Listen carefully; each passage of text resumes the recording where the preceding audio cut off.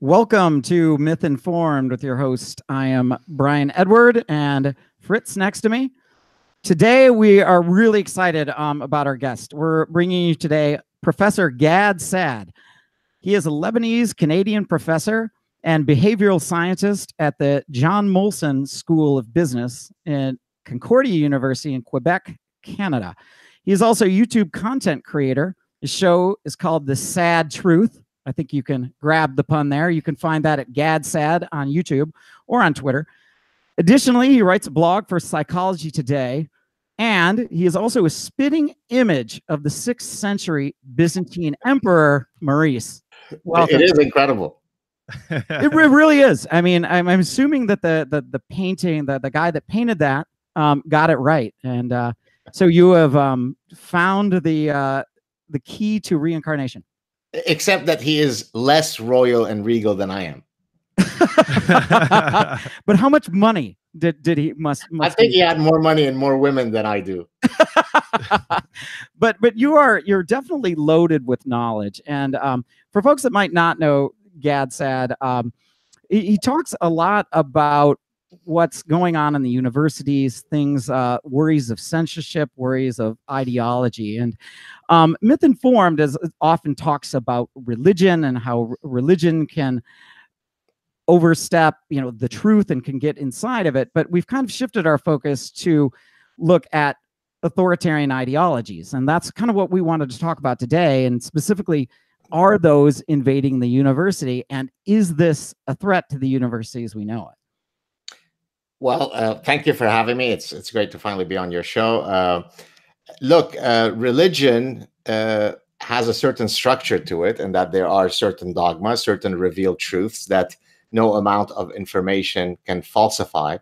And some of the idea pathogens that currently parasitize the university have the exact same structure. They are revealed truths. Uh, it's a secular religion uh, but it is equally a departure from reason. And so, in that sense, you're just replacing one set of dogma, religious dogma, with another set of dogma, and both should be uh, combated assiduously. So, so what bring us back to like an idea pathogen. So, for somebody that says, okay, that's that's a cool term, but what what do you mean exactly by an idea pathogen? So, let me. This is actually the the point. Forgive for the plug. My forthcoming book, where what I basically do is I take the model of an epidemiologist. So if you if you imagine an epidemiologist who is trying to identify where a particular pathogen, a virus, a bacterium has started, who is patient zero, how has it spread, what is its transmissibility rate, and so on. Uh, and I take this model and I argue that in the same way that we can be uh, infected by viruses, in the same way that many organisms can be parasitized by actual brainworms, right? Toxoplasma gondii, as many of your listeners might know, is a parasite that infects the, the brains of mice. When the mice are infected with this parasite, they become sexually attracted to the urine of a cat. And so their adaptive fear of cats is now squashed and they actually head towards the cat and it results in a maladaptive outcome. Well, I argue that humans suffer from another class of parasites. Instead of them being actual brainworms, they're bad ideas. They're ideas that uh, parasitize us and cause us to behave in profoundly maladaptive ways. So, an example of that, and I go through a whole list in my book. Uh, I think before before we got on air, we talked about postmodernism. Well, postmodernism is a is a granddaddy yet daddy of idea pathogens. It basically says that there are no universal truths. Everything is relative and so it becomes very difficult to be a scientist if you argue that there are no universal truths. We, we wake up every day as scientists hoping to come as close as we can to some truth using the scientific method. If you now argue that there are no such things as objective truths, uh, it leads us down some very ugly uh, pathways, such as it is, uh, you know, sexist or transphobic to argue that there's such a thing as male or female. I had to, in the 21st century, in 2017, appear in front of the Canadian Senate as an evolutionary bi- behavioral scientist to argue in front of the Canadian Senate in the 21st century that no, no, no, trust me, there is such a thing as male and female. Well, when you get to that kind of level of lunacy, uh, you can only talk about idea pathogens parasitizing our ability to think clearly. You know, so uh, with with these ideas, you know, the fact that you had to go so high uh, in, in uh, your you know politics to speak about this. You know the fact that there's man and woman uh, within the scientific community. Uh, you know, I try to picture myself uh, as, like I had stated to you, a bacteriology major. I'm, I'm in college studying microbiology. If I'm focused on my science, why should I care what these idiots are thinking and, and spewing? Um, is there really a concern uh, for scientists that are actually doing the work? Won't science just keep moving forward, marching on, and this is just a blip in uh, in, in humankind? Y- yes and no. So I'll give you a, f- a few ways to address your your, your valid question. Uh, it only took 19 committed people on 9/11 to bring down buildings. It didn't take 19,000, it didn't take 19 million, it didn't take 190 million. It took only 19. So you don't need many morons and social justice warriors on campus to be holding the rest of us hostage, right? And that's exactly what happens. You are exactly correct that they are a small minority. They're a vocal, very strident small minority that causes that causes everyone to pause and think and you know take a step before they ultimately engage in self censorship. Now, you might have thought that yes, biology and physics and neuroscience and chemistry are uh, somehow inoculated from this lunacy. They're not. I recently had a few months ago on my show Professor Alessandro Strumia, who is a physicist, a theoretical physicist, who is a guy who worked at CERN, the nuclear research center uh, headquartered in uh, uh Switzerland. And he appeared at a conference that was on gender and theoretical physics, where he offered some bibliometric data. Bibliometric data, for those of you who don't know, is the study of science networks, for example, who cites whom, uh, and so on. And what he wanted to demonstrate is that, contrary to the politically correct narrative, contrary to the oppression Olympics narrative that women are grossly discriminated against in physics, if you look at the bibliometric data, it's not true. That narrative is false, right? Now, he didn't know any better. He thought, well, as a physicist, you know, he goes where the data takes him. And so he's just going to present that data. Well, he's been let go of CERN now. Uh, 1,600 physicists uh, who came together under the profoundly obnoxious Particles for Justice moniker wow. put out a letter, a signatory letter, uh, whereby they distanced themselves from this monster, this Nazi who you know violated people's race and sexual orientation and gender expression he did no such thing all he did was report bibliometric data on male versus female physicists so the cancer uh, doesn't know where the boundaries end. It's not restricted to the humanities or to the social sciences. This is where it starts off. This is where patient zero is first infected but it is now making its way to all of the fields that you would have thought you'd be inoculated from. Yeah, and I would uh, to add to that, I, I, I heard about this on I would think it was Janice Fiamengo's channel from the University of Ottawa, and and she mentioned that uh, what that hubbub was about was that that male physicists were being cited more often than female scientists, and that this the claim of sexism was there. But when you actually looked at this, female physicists were citing male physicists more often as well. It was just that that happened to be who was the, the best work or the, the, the most the, the, most pertinent work.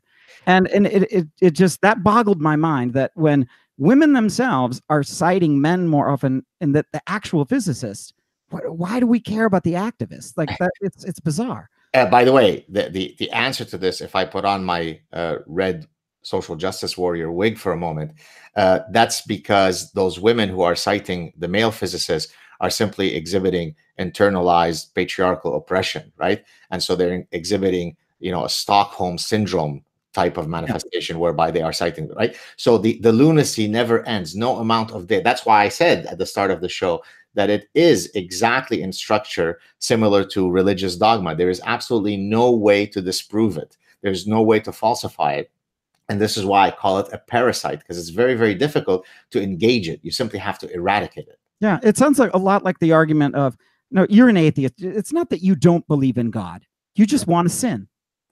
Right? I mean, that seems to be the defense. And they're like, or if I were Jordan Peterson, I would say that when God says that he's not an atheist, he really means that he's a believer.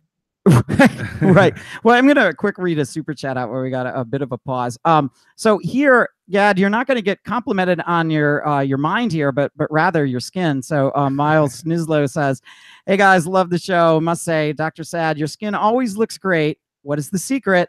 Brown skin don't crack."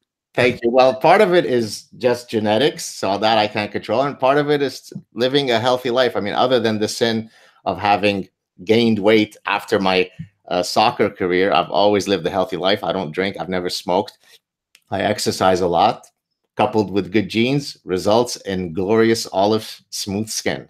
Wow, I expected you to pull out some, uh, you know, a bar of lotion and you know, just, uh, no, so get a little commercial. My my question that I wanted to ask regarding social justice and all these ideas of political correctness, identity politics. Uh, d- did this begin uh, just from people's goodwill, just wanting to be nice to others, just uh, wanting to respect others, and it just went downhill in this slippery slope, and the the, the snowball just kept getting bigger and bigger. Yeah that that's a great question and i actually exactly discuss this in the book because it's it's one thing to simply talk about that these idea pathogens exist and where they came about but you know why did they arise i mean to the extent that almost all of these pathogens uh, started with intellectuals right? I mean we, would like to think that intellectuals are not morons right? And so why would they believe in such nonsense right? I mean how could it be that many of them hold views that the average two year old would falsify in their just lived experience? And i think it's exactly because of what you said. So let's let's take a few examples. Uh, if for example i think that evolutionary thinking and biology will result in a whole bunch of cretins misusing it for their political purposes. So for example a british class elitist in the 19th century argued hey uh, we are the upper class. You guys are the lower class. There is a natural struggle between the classes and you lost so who cares if you die in your you know uh, squalor? That's just darwinian theory. Uh, the nazis said hey there's a class between the races. We are the aryans. Sorry jews you lost. So what if we kill you? That's just darwinian theory. Eugenicists argued the same thing when they are purifying the gene pool and so because all sorts of uh, you know cretins misuse darwinian theory none of this has anything to do with evolutionary theory uh, a bunch of cultural anthropologists came up with the brilliant idea that if we now abdicate biology in explaining human behavior, then we can stop people from use, misusing evolutionary theory, right? Which, of course, is a just astonishingly imbecilic idea because that's like argue that's like arguing let's stop believing that there's such a thing as atomic power because bruh what if somebody does the manhattan project right?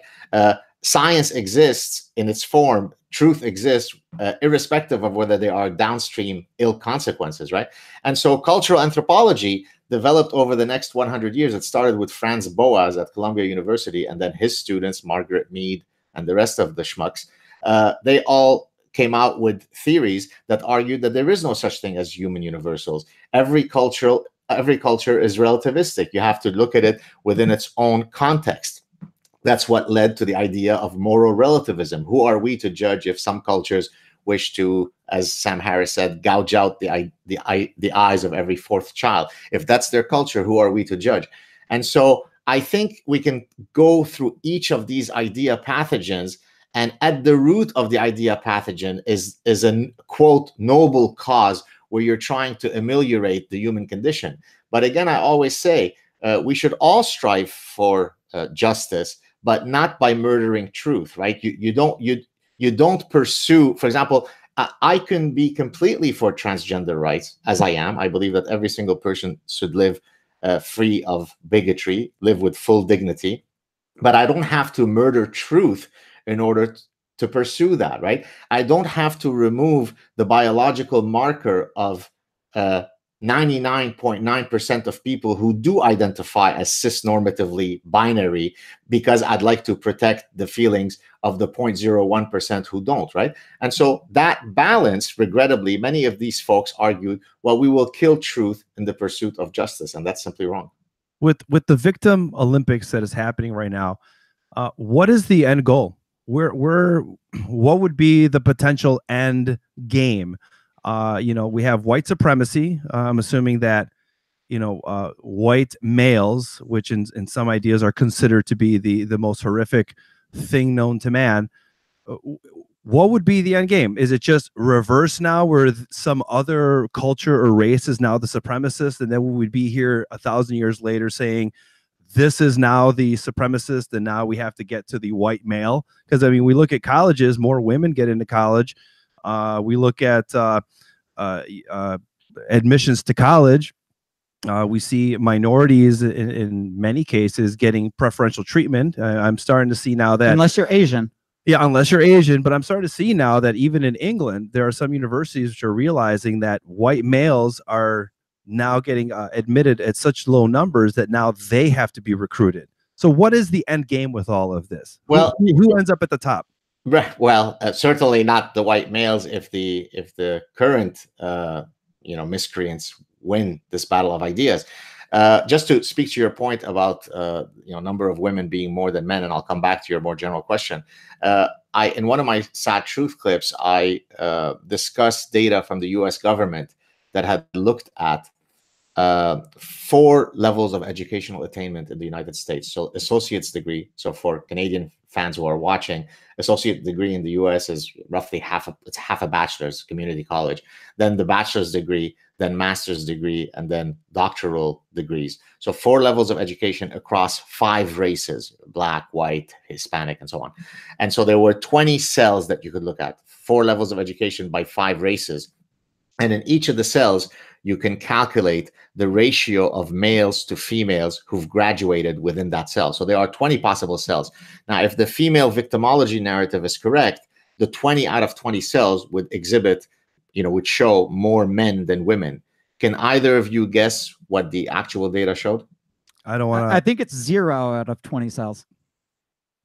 Ding, ding, ding, ding, ding. You win our new car. 20 out of 20 cells. Let me repeat that for people who are dozing off.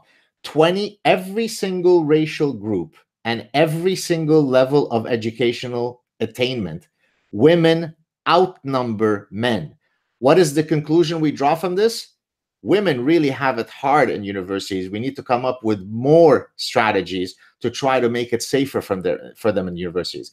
So my point is, so to speak to your more general question, the currency today that we use in when we debate one another is no longer a mechanism of reason, of truth seeking. It truly is one where victimology currency is the is the currency that we use to decide who's right. And until we break this faux epistemological approach, right? Uh, I mean, I literally use this, by the way, as someone who's, you know, Lebanese, Arabic, from the Middle East, you know, war refugee and all this. I always joke that no one, certainly no one in the West, probably most people in the world, can't outrank me in victimology poker just by, by my personal history. I will often, whenever I get someone attacking me, some uh, Forbes journalist, white woman, and I know she's going to succumb to this type of oppression Olympics, I start tweeting at her, why are you attacking, you know, a hapless war refugee, a brown man? And guess what? She runs away. So I could literally turn this game against these morons, and they simply cannot handle it. So uh, the end game is uh, if we win, meaning truth seekers, we have to get rid of the currency of victimology and return to being committed to winning arguments using reason, logic, evidence based thinking, the scientific method. Now, that sounds obvious to many of your viewers, but believe me, as somebody who lives in the ecosystem of the university every single day, it's not very obvious in my ecosystem. Right. It, it's not because I'm uh, I'm often hearing that that science itself is a product of white colonialism. Right. And instead of these ideas in science being a universal truth and for everyone, that this was a system created by white people to afford and support white people, which is odd because Asians seem to be doing the best in the United States. So somehow white people set up a system that's that that helps Asians the most. But like, are you seeing this this colonial backlash? And i- if you is that a force on the university? Oh, listen, uh, I have a section in my. Uh, forgive me for mentioning my forthcoming book. It's not. It's not to constantly plug plug it, just to kind of so that I can auto cite myself if you'd like, because you'll be seeing it in the book. This is why uh, you're here. We want to plug your book. oh, well, thank you. You're very kind. Uh, uh, so I talk about this uh, movement to speak to your point uh, of the indigenization of Canadian universities. So the indigenization happens in, in several ways. Uh, indigenization could be uh, when you have a uh, uh, an event at the let's say graduation. You first start off by saying, uh, "We apologize. This is Iroquois and Algonquin land. Self-flagellate. I apologize for you know right." I had nothing to do with what happened in 1739 with a particular tribe. And the students who are who spent four years studying hard at this university should not start off by feeling collectively guilty for something that happened 300 years ago. But that notwithstanding let's call it a symbolic attempt at reconciliation and clear that. We'll accept that. That's fine. Here's where indigenization becomes a problem. When you argue as you exactly said that the scientific method is just one way of knowing and the way of knowing of science is really that it was white males who came up with science, right? Newton and Darwin and all those disgusting white guys. Uh, and there are other ways of knowing, indigenous way of knowing. No, there is no indigenous way.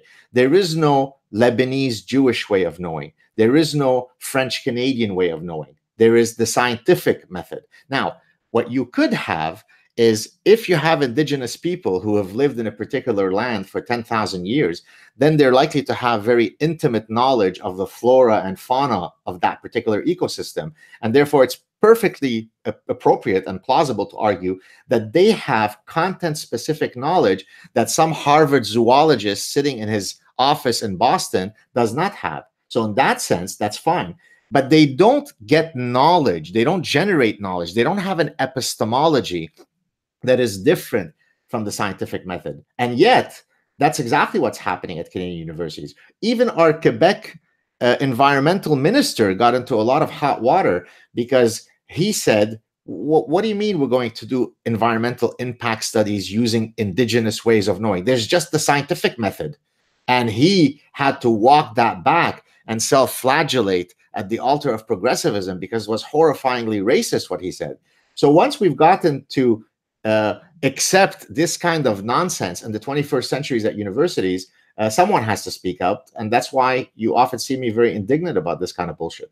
Yeah, I mean, it's worth looking into, you know, uh, how indigenous, uh, like how, how oral cultures passed on knowledge and how they did it with story and song and how they would teach their children about the seasons, about even what what an eclipse might be. And and, and stories for all of this this is this is a fine way to go back and learn but to say that that was providing some kind of special knowledge that it, it just seems bizarre. I mean the scientific method is a universal it's for all humans. It's yeah. for aliens that might live on on another planet somewhere. It, it's not it's not for a race. Uh, well i would say it's okay but it's not going to be the best way to transmit uh, information to have it be accurate because it's going to change over time. Uh, you know, speaking of uh, you know cultures, uh, in terms of cultures, and I guess under the umbrella of all cultures are equal. What do you say, or what's your take on, for instance, the Jewish community worldwide having more like Nobel prizes than the Islamic community in general? Uh, what do you what do you have to, t- to say about that? And what do you think social justice warrior individuals have to say regarding this aspect? Would they just say it's just white supremacy again with the Nobel Prize? Right, right. Uh, well, I've actually used uh, the data regarding Nobel Prizes uh, won by Jews when uh, I spoke. I gave a university-wide address at the University of Regina uh, a few years ago, where I was talking about, you know, uh, inclusion, diversity, and equity, whereby we're now giving out chaired professorships, not only in my university, but at the Canadian level, the Canadian government now gives out chaired professorships, the highest accolade in academia, based on whether you are whether you ovulate or not, whether you are indigenous or not. And so I said, but wait a second, if we look at data of Boston marathon runners, and I started going through the list, and this became known as the Kenya, Kenya, Kenya meme. I let me let me summarize it for you.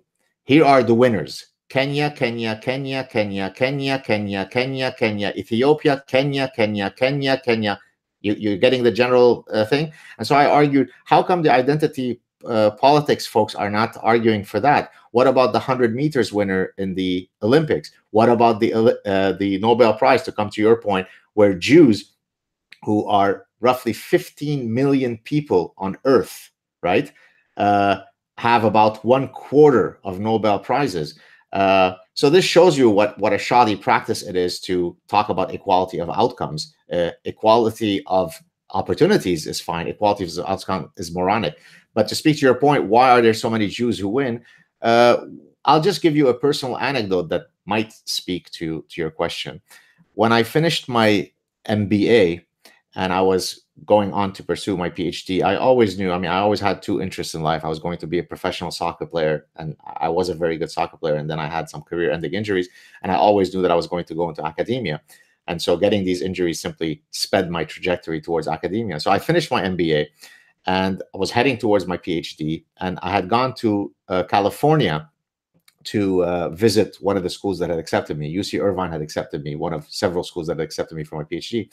And it so happens that my I had a brother who uh, lived in California who had become very wealthy in the software industry.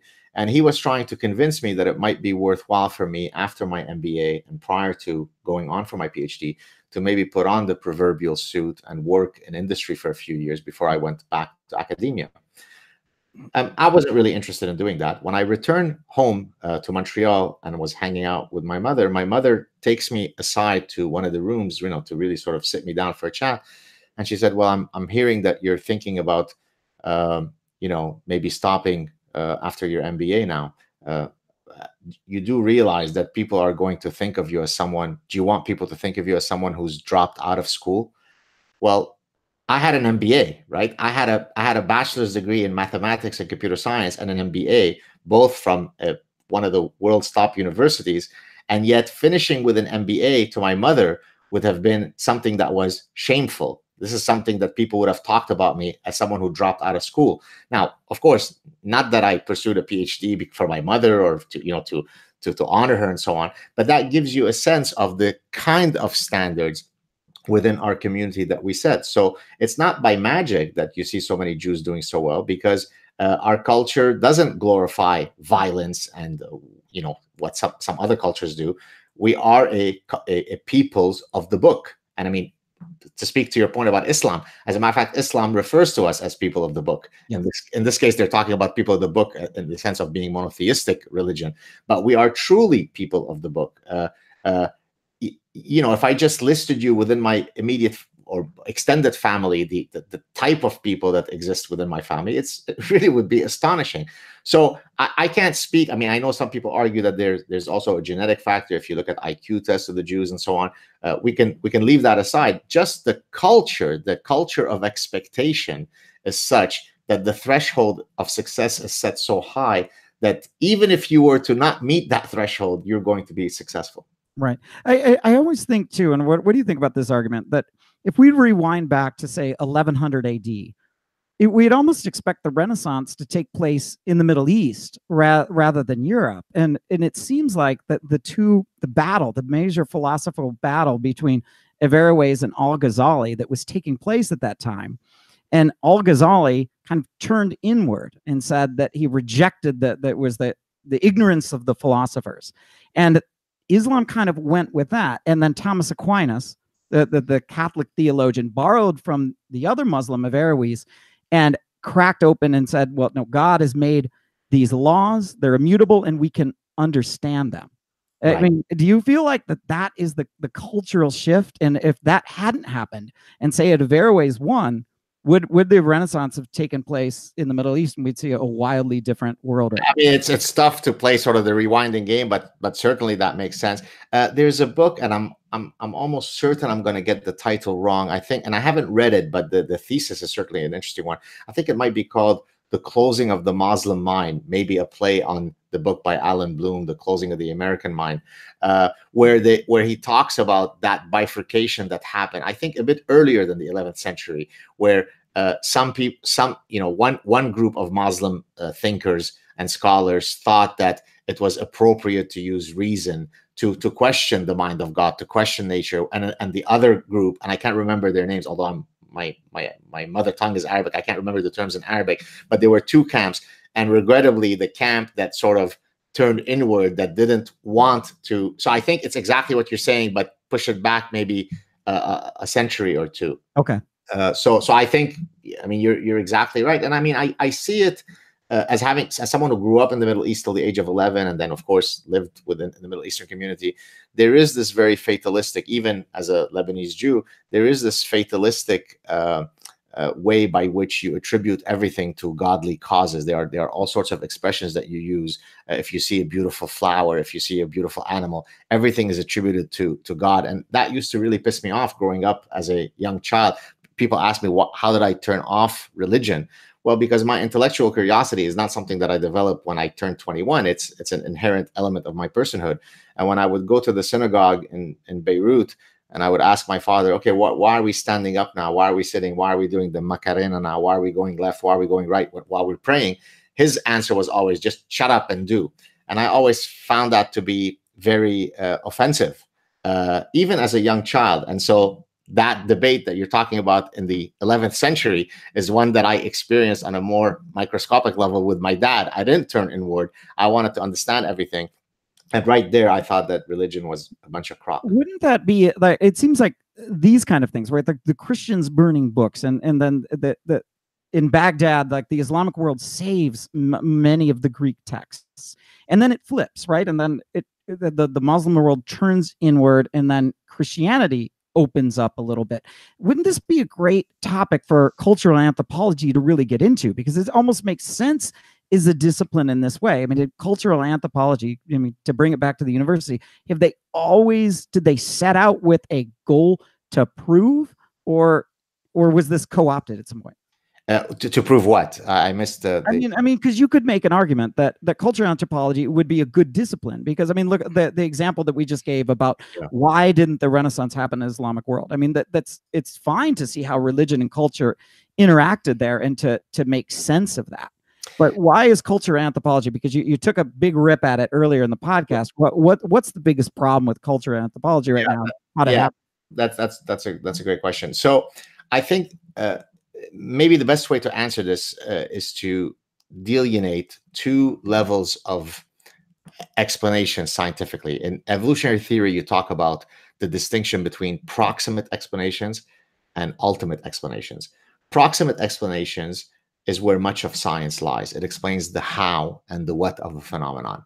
Uh, if I want to understand how diabetes works, mm-hmm. uh, well, it's a proximate question you know how does it work? What are the factors that affect the spike in in, in my uh, you know blood sugar levels?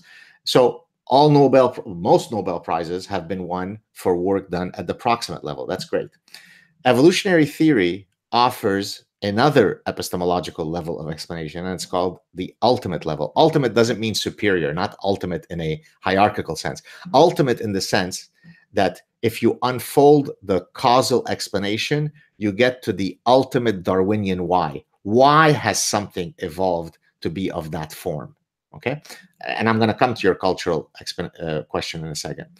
So, the problem, I think, epistemologically speaking, with cultural anthropology is that it operates simply as a phenomenological discipline. It simply catalogs cultural expressions look, the Malaysians do it this way and the French do it that way, and that's different from how the Brazilians do it. Do it, and it's it's not quite like how the Mayans do it 1600 years ago. Now that's all nice, but that's all proximate stuff. A much more interesting question to ask, or rather, a more complete question to ask, is why do cultures evolve along their particular trajectories? And so, let me give you a tangible uh, example of how you would apply an ultimate level analysis to a cultural question. So if I were to look at the culinary traditions, the cuisine traditions around the world, let's say in terms of how much a particular cuisine uses spices. Some some cuisines are very spicy, Mexican food. Other cuisines are very uh, mild, Swedish food. Well, if I'm a cultural anthropologist, what do I do? Mexican is spicy, Swedish is not. Good night, everybody. Okay. An evolutionist would say, why is Mexican food spicy and why is Swedish food not spicy? Well, it turns out that it is something intimately linked to something called the antimicrobial hypothesis, which basically argues that culinary traditions evolve in their particular forms as adaptations to biological problems. So, in cultures where you have hot weather, where you have therefore a much more rapid proliferation of food pathogens, where there is greater pathogenic load within that ecosystem, then you use culinary traditions to quell that particular adaptive problem. Therefore, spices are used as an antimicrobial property, just like pickling, just like smoking food. And therefore, once you look at the global distribution of spice use and then map it, superimpose it on pathogenic density, voila, you have a full explanation.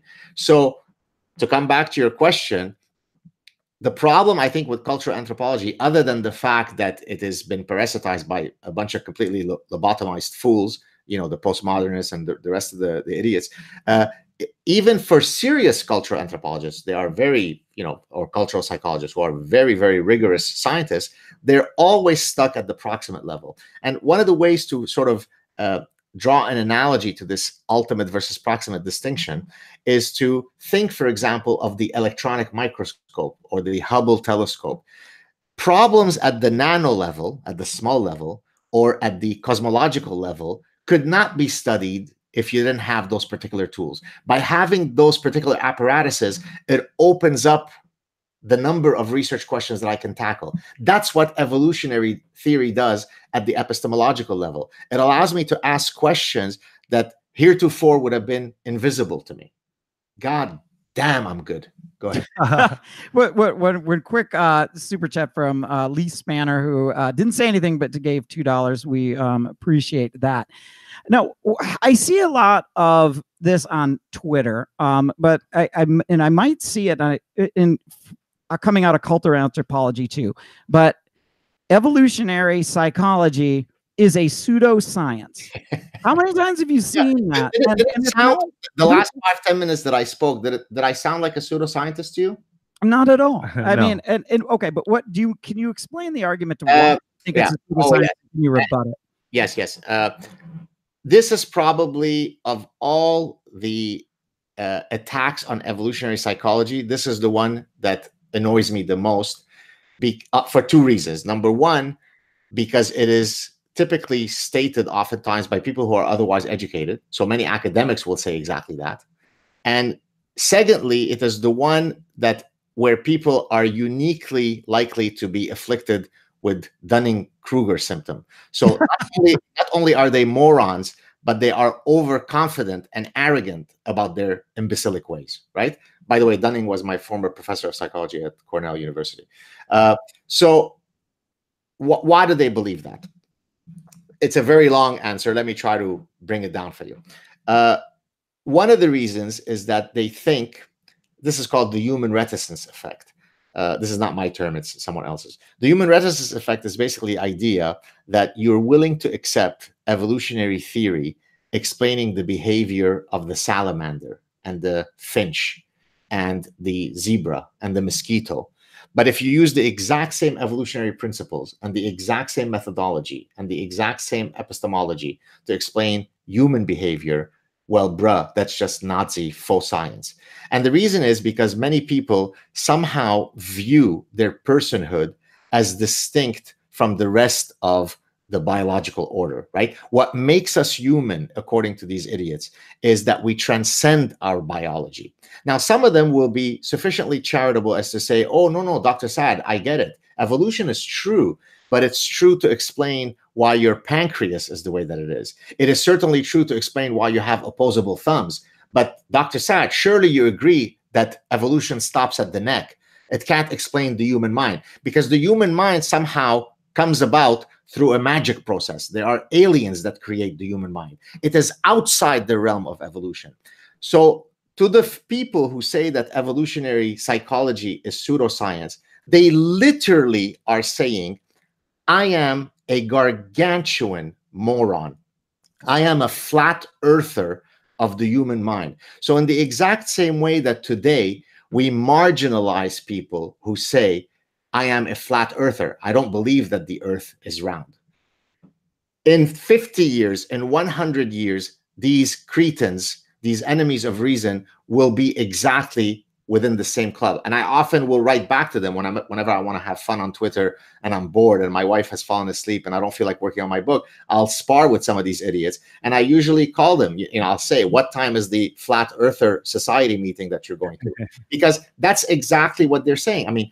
All of my colleagues who work in the evolutionary behavioral sciences are some of the most intricately sophisticated scientists that exist. And yet, some gamer Joe who's gone to grade nine biology who plays video games all day will write to me and say, But bruh, why do you do this? It's fake science. And so that's what's so galling. Number one, it's profoundly wrong. And number two, it is stated with such arrogance. Well, yeah, and it's not just by like the gamer that might be in the basement. It, I think it's by gender studies too. I think Judith Butler says that that gender is performative that, it, that it isn't biological it, it's purely performative and and what bugs me about this the, the evolutionary psychology piece and right because you're right they'll say they'll stipulate that the pancreas does this and that but the religious would say this as well especially like the old earth creationists not the young but the old earth creationists would say yeah yeah, yeah. evolution happened with the with mammals and and and giraffes and and certainly the birds and the galapagos but but not with humans yeah, exactly. Well, that, that's exactly the human reticence effect. Exactly. Yeah, yeah and it, so it really seems like, and we would debunk that. I mean, the atheist community would often say, "Well, that, that's absurd." Right? Yeah, the, uh, you can't. It, Champy, if a fish is evolving, well, certainly that humans have to be subject to that. But no, no, no, no. Humans are special, and it seems like the the culture anthropologists and those and in the name of anti-bigotry are making the same anti-science mistake. Yeah, it's incredible how the secular world and the religious world are overlapping here. With human exceptionalism is not part of the animal kingdom. Exactly. Uh, you know, both both say the exact same thing.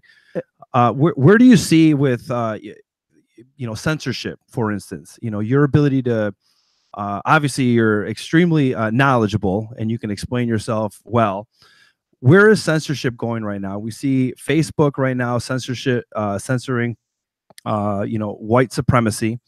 Uh, we see right now uh, censorship when it, as it relates to scientific information and the scientific method. Uh, where are we heading right now with with censorship? It, it, seems to be a very scary time right now. Like we can't really speak our mind. Like free speech is something that I grew up with, assuming that this is the way of the world. Yeah, you should be able to speak your mind. And uh, I, I assume that, you know, as my life would go on, things would just get freer. And it seems now that we're getting, we're kind of reverting to a situation where we can't even speak our mind anymore. No, it's look, it's it, it keeps me up at night. I mean, this is why I do what I do because uh, to the extent that I've got uh, a forum uh, to try to combat this, I always feel. I mean, people tell me, "Why do you why why do you care so much about getting engaged?" And you know, what compels you to get engaged? And my personal code of conduct is: if at the end of the night I'm going to have a good night's sleep, I need to be able to lay my head on my pillow and not feel any guilt at having engaged in inaction uh, when I could have acted, right? And so, uh, to the extent that I have a forum, I always feel that I have to you know fight for these causes. So but to come back to your question uh, it's it's not just censorship in the classic sense of oh the government stopping you that i'm worried about. Probably the greatest form of censorship uh, or the most harmful form is really self censorship right? It's when a student who is sitting in a class who would like to say but come on surely there is such a thing as evolved sex differences decides that they better not say that it's when someone says, but I think I have some good reasons as to why many people who are not bigots and didn't sleep with their sisters in Arkansas voted for Donald Trump. Very reasonable and rational people might have used some very valid psychological processes to choose Donald Trump. He or she will decide not to speak in class. So I think censorship is not simply about, you know, is the government going to stop us from freely holding this chat on your show?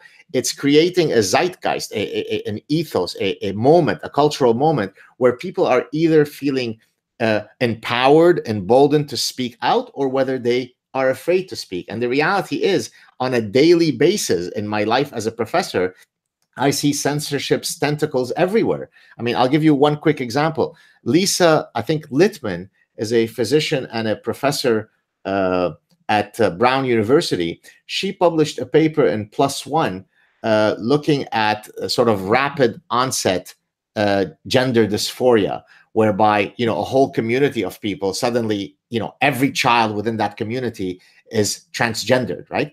And she, you know, she's a very reasonable, very, you know, gently spoken person who, you know, is a serious academic. Uh, she published this paper in PLOS One, very serious journal. And then uh, first, Brown University advertised the paper as they would, and then they pulled it when trans activists started, you know, screaming and yelling. So that's not censorship in the sense of the government censoring you, but this is someone standing and saying, Do you really want to do this? And most people who lack testicular fortitude are going to run away from brawls. A few of us are actually always there at the challenge, right? If you come after me, I'm going to come after you 10 times harder. Maybe it's my Middle Eastern culture, maybe it's the unique combination of my genes. I'm just built for that fight.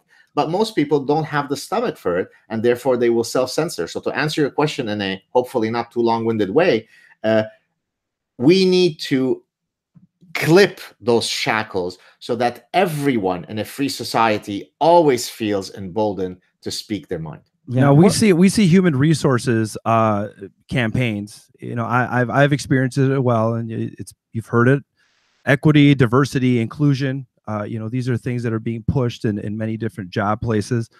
Uh, people are afraid to speak out because it's their livelihood. So, my question to you is Is it worth being a martyr? How many martyrs do we need? And how do you encourage, I guess, your students to speak their mind? You know, when you know you seem to feel secure with your livelihood, at least that's the confidence that you're exuding uh, you know, what do, what do we need to make this happen? Do we just need people to just get on a rooftop and just stop ye- start yelling a bunch of uh, craziness? Right. So let me first disabuse the notion of I'm secure in my job because I'm tenured. Uh, last year, I had to go to university and check in with security whenever I lectured uh, they would lock the door from the outside so that if students left the room, they could. But if they had to come back in, it was locked because of the number of death threats I was receiving. HR of my university uh, compelled me to go to the Montreal police and file a police report. A file was opened because of the number of death threats I was receiving. When I would go to the university, my wife would drop me. I would then lecture and then rush back into the car. And literally, when I would enter the car, a, a weight, a, a, thousand pounds would be lifted off my uh, shoulders because I'm going to live another week uh, and being with my children. So it's not as though tenure is a magic cloak that protects you from all repercussions. So I would ask the idiots who think that, oh, but surely you're not courageous because you're tenured to send me their address so that I can forward them the death threats and then they could talk to me about tenure. So that's number one. Number two, I've been denied two uh, applications of a chaired professorship. As a matter of fact, I corrected you offline when I remember that I'm the holder of the Concordia University Research Chair in Evolution. That's from 2008 to 2018. I've now applied two years in a row. I didn't get that chair. I'll leave it at that. Okay. Uh, so there are an endless number of ways by which someone could be severely punished from minor things to being afraid to walk into campus because of death threats that still cause me to speak out. So don't in any way think that because I'm tenured, that removes any of the credit that I should have. If anything, I've uh, the amount, the costs that I've had to bear uh, that have harmed my career because of how outspoken I am have been incalculable. For example, I've long wanted to relocate to Southern California. I've had uh, at least one university who's who wanted to come and hire me at a gigantic salary, and then because of political ramifications, that uh, offer was ultimately withdrawn off the table. So again, uh, tenure is not the panacea to all your costs. But to answer your question more generally, the way I would answer people who say, but you know, I don't want to be a martyr, uh, you know, I want to be safe. Uh, and I don't wish to be hyperbolic here. I'm being quite literal, actually. When the young men who stormed Normandy did so, nobody told them, but when you storm, don't worry. We guarantee you, you won't get hurt. Hurt. You won't get killed. You won't get mowed down like little mosquitoes by the machine guns of the Nazis. It is because those guys went on that shore that you and I are sitting and talking today. So, yes, you might bear a cost, and yes, there will be injuries to your career, to your livelihood, but we stand today on the on the shoulders of very courageous men and women who gave everything so that we could stand. I had to escape Lebanon sprinting because if I got caught, my head would be disassociated from the rest of my body. Uh, so for me, it's unthinkable that I wouldn't speak out. So what would I say to all those people? Don't be an unnecessary martyr. In other words, you can be slightly strategic, uh, but ultimately, if you diffuse the responsibility onto others, we will lose that battle. Or for us to win the battle, many more uh, edifices of truth will have to be destroyed. So why don't you get engaged in any way that you can? For example, you could be as you could do as little as when you see someone posting some BS on Facebook that you disagree with, challenge it politely, right? So it's trench warfare, it's ideological warfare on every street corner. Some of us have bigger forums, some of us are professors with huge followings, others of us are not. But at every step of the junction of this battle, let your voice be heard. Don't diffuse the responsibility on a few of us to bear the burden for everyone else. Yeah. I, and I see a lot in your work where you, you'll say that people and, and professors especially will email you a lot and say, hey thanks for what you're doing i really appreciate it it's it's bad at our university i i just can't i can't speak out and and you've criticized that while while you appreciate it you you criticize it saying and that that silence can be complicity and and i kind of get that. I, I it, it makes some sense you know that alexander solzhenitsyn in in the as in the gulag archipelago talks about how nobody spoke up and and the train keeps rolling back. But it, but to push back on it the social justice warriors will often say you're complicit if you don't immediately call out racism and therefore you're white supremacist adjacent. So my i had a little bit because they say silence is violence or com- silence is complicity as well how would you take that critique uh they're wrong uh because I, I the reason why i always come to the table with uh the uh, supreme confidence is uh, because I come from first principles. In other words, I so believe that I am capable of defeating you in a battle of ideas on whatever issue that I'm willing to fight you against that I am never afraid to enter the ring with you. Now, that doesn't mean, by the way, that I don't have deep epistemic humility, right? As a as a scientist, when I collect data and I analyze the data and the data doesn't support my hypothesis, oh, back to the drawing board. And if you offer me some uh, evidence based, uh, well, some evidence that demonstrates that my position is wrong, I'm perfectly willing to go back to the board and restart. But when I come to a debate, uh, I will let you know that I'm ready to fight. And therefore, if I'm ready to fight, I don't have to be silent. In other words, because people actually often write to me and say, How do you have the courage to do? I mean, I can't understand how you could exist. I mean, especially at my university, I mean, it's social justice warrior central, right? I mean, if you've seen my videos, my satirical videos, my self-flagellation stuff, I mean, people can't do, can't imagine doing one millionth of what I do. Well, the reason why I do it is because I'm indignant about how much these other cretins are attacking truth. And therefore, I come like a brawler. And so uh, the social justice warriors are wrong. And this is why ultimately they never enter the arena. Uh, you know, to battle with me on, on substantive points. They can usually only use social justice tactics, and I will usually flip that on them because I outrank them in victimology poker. I'll give you a very quick, short example. I was uh, attacked by a woman on Twitter because I had the audacity of critiquing Serena Williams when she was acting like an utter buffoon uh, uh, in the U.S. Open, the final, right when she acted, you know, in a very inappropriate way. And as I have a right to do, and as you would expect, unless you suffer from you know the the uh, bigotry of what is the soft bigotry of low expectations. Uh, Serena Williams doesn't get a pass from uh, from being called out for her assholish behavior because she's a woman and because she's black, right? Uh, that's what non-racism is, right? If it were a Jewish guy who did it, I would think he's an asshole, and if it's Serena Williams who does it, I think she's an asshole because by first principles, an asshole is an asshole, irrespective of their identity.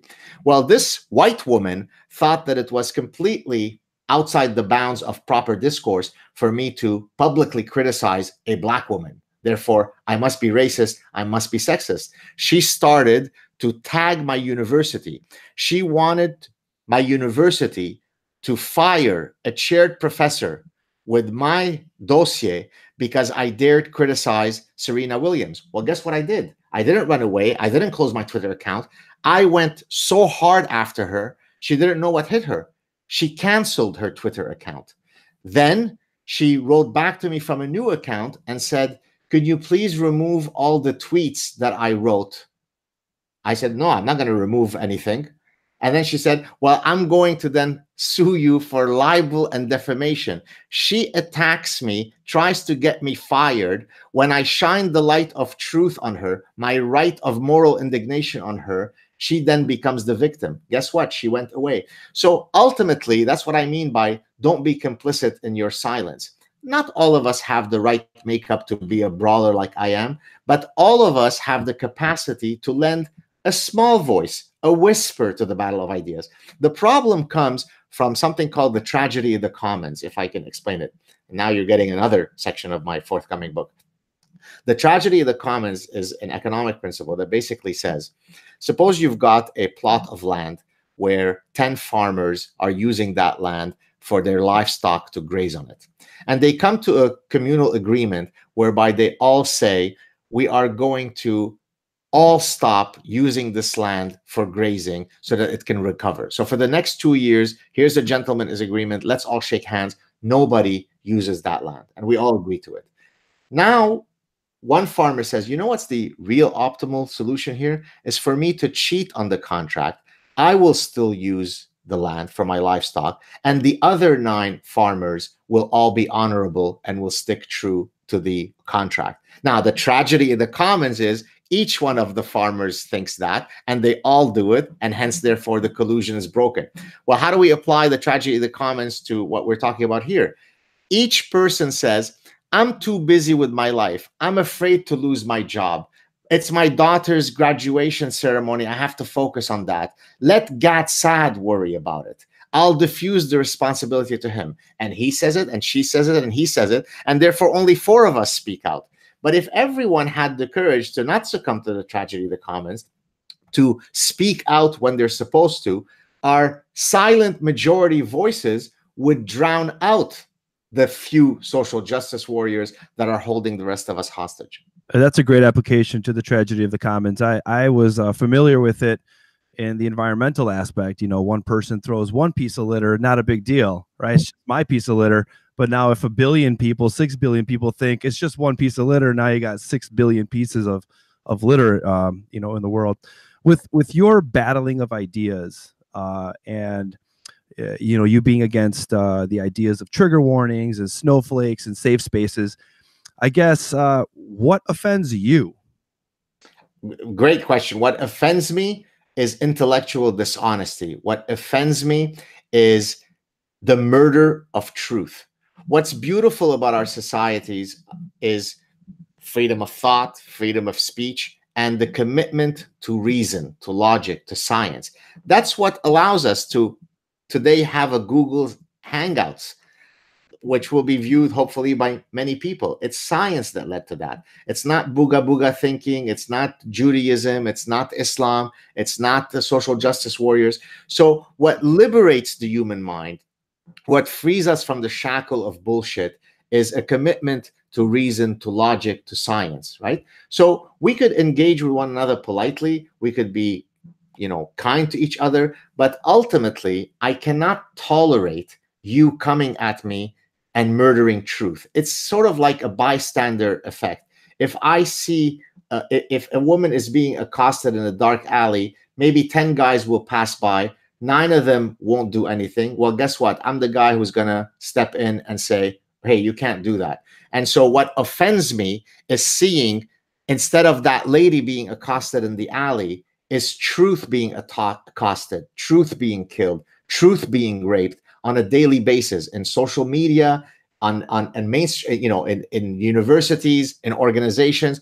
And so and and that that's precisely why uh, it's such a burden to bear because the second that you put yourself out i mean i could close all my social media so at least that i can inoculate myself from all the bullshit but i can't because every day when I go to sleep, I say, you know, did I contribute to create slightly less litter today? And just to draw a, a, a small example uh, related to your litter uh, example, I taught my children from a very young age, whenever we'd go to the beach, that when we'd go to the beach, uh, as we you know, before we leave the beach, let's just walk 100 meters this way and 100 meters that way and pick up some trash. And so, even if we picked up, say, 20 pieces of trash, it's an incre- incredibly purifying feeling.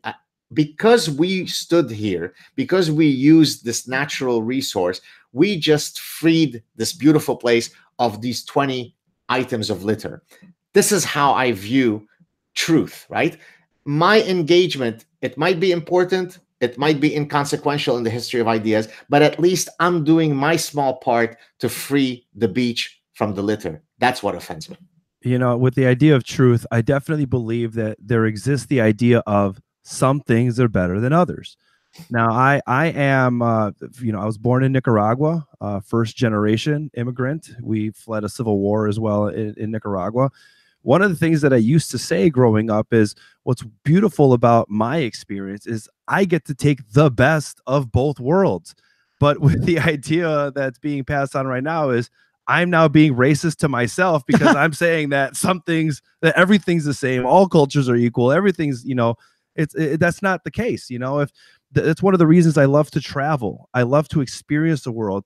If there's something that I can take, cultural appropriation that helps me and benefits me, that I can learn from, that I can become a better person from, that's great because you know again i get to take the best i get to cherry pick the best things from around the world and i already felt i had a leg up just by being from two different cultures. I speak two languages. I'm sure you speak even more than two. Four. Um, four. So it seems, uh, you know, with the idea of truth, uh, you know, I definitely, you know, believe in that. There, there's a truth that some things are better in some places than others.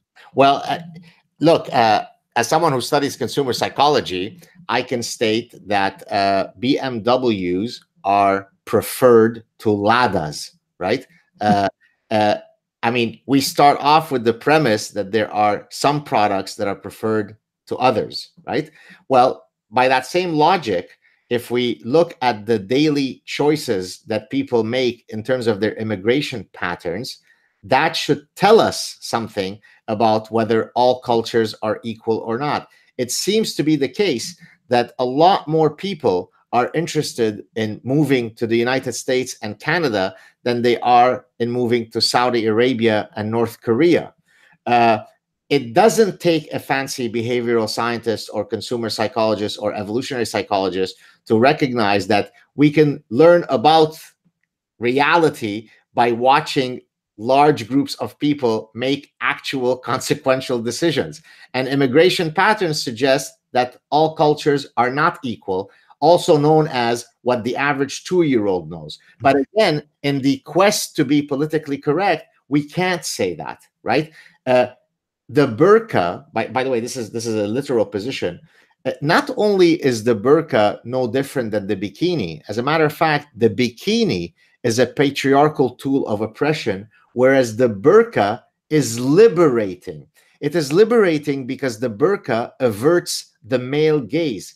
This is not taught at some quack madrasa in Pakistan. This is taught in every gender studies program at all of the elite universities that uh, levy $60,000 yearly tuition fees. So imagine how much we've removed ourselves from a common understanding of reality where professor can get up in front of his or her students and truly state that the burqa is more liberating than a bikini That's what offends me. And there, there's a meme about that. You you can you can Google that. There, there's a cartoon. I, have definitely seen that. And one quick uh, quick interjection. Um, I think it's ABK says highly interesting. Please please give your book's title and when it will be available. Oh, thank you for asking. The current title, which is a working title, so it could still change several times, is uh, The Parasitic Mind, precisely for what we discussed earlier the idea that minds can be parasitized by idea pathogens. Uh, I have to submit the first draft in October, uh, although I'm on track to probably get it out to my publisher a bit quicker. And so if but let us suppose that it goes out in October, usually you probably have to add about another 6 months so they get it, they read it, they ask me to make some changes, we go back and forth. So so I think in the best case scenario I would say very early 2020 to spring 2020. So so at the very latest I would say in a year from now it should be out there. Okay. Very good. And then there's uh, Motard, uh, no message, but two dollars. Thank you very much. What I wanted to go back to, you mentioned uh, the Lisa, um, uh, was it Lisa Lippman? Or, um, you, you, broke up. You broke up. Did you say? Yeah, something? I was gonna no, I was gonna go back to it was Lisa Littman at Brown when in, it to to put like a bigger microscope on this. Uh, did you know that recently they they republished the this the journal PLOS One republished that so this was um, just in, in mid March. So they they changed the title. Before it was called uh, gender dysphoria, um, or it was either rapid onset gender dysphoria. It was very plain title. Now it says parents' perceptions of children with rapid onset dysphoria.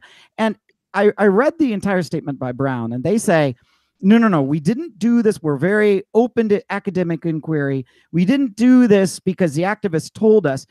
It was it wasn't that we were treading on a tough subject. We're committed to that. It was the methodology that was the problem. But I looked at all the changes, and all the changes are basically wording changes, which makes it maybe read a little bit nicer. But not once do they address any methodological problems that might have been in there. So yeah. I'm sorry, I don't believe them. No, it's complete BS. Uh, and I mean, I know of a lot of other cases in very prestigious journals where all sorts of uh, some of these cases, you know, I can't share publicly because they're confidential and so on, but where I know that an editor was placed under tremendous pressure to change this content and this. So, it, so to go back to your question earlier, Fritz, I mean that is a form of censorship, right? It's not governmental censorship, but it's don't use that word, use that word. I, I always joke that uh, social justice epistemology works as follows.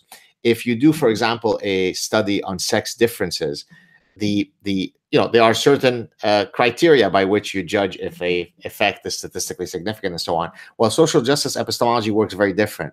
If the results support the social justice narrative, then you publish it as great science. If the so if the research, if the findings don't support the social justice warrior narrative, you squash it or if you do publish it then you try to get the people who published it fired because they're nazis. And i mean it sounds as though i'm being humorous and hyperbolic but but i'm not right? So i've seen it in my own uh, engagement with for example feminists. Uh, if i go up in, in front of a you know a, a huge audience made up of many hostile people and i'm talking about evolutionary psychology if i for example talk about uh, research that demonstrates that uh, evolutionarily speaking, women have definitely evolved a desire to engage in extra the, the, the, fancy you know biological term is extra pair copulations right? To to go around and cheat in in the back of the cabin right, right. Uh, cuckolding as they call it right? The, right. the word mainstreamed thanks to the alt right. Right. Oh wow. Right. So so if uh, if i if i explain using some evolutionary principle some phenomenon that is in line with the feminist narrative, then I get bravo, Dr. Saad. What a brilliant scientist you are. And then the exact next nanosecond through the other side of their mouth, if I say something else, for example, if I say, yes, but let it be known that on average, men have evolved a greater desire for sexual variety than women. Boo, boo, Nazi, Nazi. So I literally went from a heroic scientist to a Nazi within six to seven nanoseconds. And the only thing that moved me from being a heroic scientist to a Jewish Nazi is the fact that in the first case, I mentioned an evolutionary principle that is consistent with feminist ideology. And in the second case, it wasn't. And therefore, there you have it. So uh, the case of uh, uh, Littman is basically what I call Tuesday in my daily life. Yeah, your satire is incredible with its ability to predict the future as well. I think you should collect them uh, and, and, compete with Nostradamus with with this type of talent. Uh, and, and and that said, you know, I, I want to respect your time. I could be here all day with you. I know that you know you don't have all day. Uh, but if we if we are going to end on maybe a uh, end on the penultimate uh, question here, sure. what are your thoughts on the female penis? and, and, ultimate means second to last. Yeah, so I'm going to give you the. I, I, know that. That means I, okay. I don't want to end on the female penis. Uh, unless, uh, so you want to end on. Do you want to give a context to your question based on some of my satire, or do you want me to explain it, or what? You- well, it's uh, it, it, it's connected to the idea of uh, you know how men are different from women. Uh, and you know we could talk for another three hours on this topic uh, but I saw one of your Facebook posts where um, I think you maybe titled it, I'm just going to place this here and walk backwards. right. Well, this is part of a, a class of satire that I do uh, where I talk about women with nine inch penises. Uh, uh, so, for example, I came out recently and I apologized to the world because I uh, recognize that now in retrospect, now that I'm better educated by the Canadian senators who taught me that there is no such thing as male or female, uh, and who mocked me and scoffed at me. And the social justice warriors actually thought that I looked bad in that interaction. Uh, so, in any case, uh, uh, I realize now that when I was looking for a uh, long-term partner, and then I ended up with my wife, that I was truly being transphobic because I specifically focused on female partners who had vaginas Whereas now I know that women can either come with vaginas or with nine inch penises. But when I made the choice to marry my wife, I was truly restricting it to women with vaginas. And I had to apologize for the fact that my whole marriage was a transphobic sham. I don't, wow. want, I don't I, want to offend you, but you're a bigot. Well, I, you're an ex post facto bigot, I think is specifically what that is. All right. So for the last question, we'll end on this. Um, and I just wanted to get your take on this two of the like the most respected institutions, and maybe this applies to Canada as well, but in America, where the military and the universities. right now, the military still enjoys like broad-based support, but universities on eh, on the right, I, I, there's more Republicans that I think universities are a net negative than a net positive, and I, I, definitely see that as a problem. Where do you stack up on that? Is is the university system a net negative or positive, or how would you nuance that? Uh, I mean, if we keep going down the the the, the trajectory that we're going, uh, I don't know if it's going to be net negative, but it's certainly not. Uh, it's not living up to what it could be, right? I mean, think of it this way: I don't know how many students have over the past 40 years chosen gender studies and postmodernism and queer theory as their fields of topic. But life is about opportunity cost. Never mind the fact that you're spending your parents' hard-earned money to send you uh, to school, right? Uh, I'm not suggesting, by the way, that or racking up tons of debt, or back exactly up tons of debt. Uh, life is about opportunity cost. If I do, if I buy A, I didn't get chance to buy B. If I go to island A, I didn't do island B. And so when you are making choices like going to queer theory and critical race theory and feminist glaciology, uh, you're not studying other things that you could have been studying. And I should be very clear here. I don't mean to imply it's not as though I'm an elitist arguing that uh, only the natural sciences are valid or uh, you can't study philosophy or the humanities. You could study Shakespeare in a profoundly valuable way. You can study a dead language. You could study Sanskrit in a profoundly so so this is not a statement about uh, these are fields that are appropriate, these are not. But rather, they should all be rooted in a commitment to reason and logic. You can't always use the scientific method, right? In in uh, art history, it might be a bit more difficult to use the scientific method, but you're still committed to a a, a sense of truth, a, a pursuit of reason, of logic, and so on the problem with postmodernism and critical race theory and queer theory and so on is that they're nihilist. They're what I call intellectual terrorism. And so I still think that the university taken as an aggregate is a net positive. Of course, it has to be.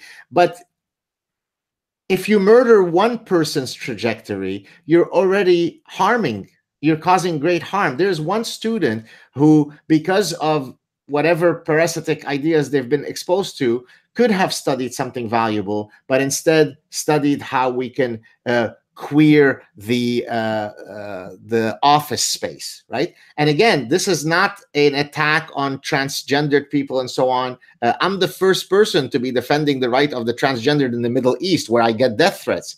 But what I'm saying is that we should use the universities to grow intellectually, to to in, in whichever way we want, whether we study a dead language like Latin or we study the neurosci- neurosciences. What I don't want to see is more and more students students wasting four years, six years, 10 years studying utter bullshit that will bring them nothing but despair.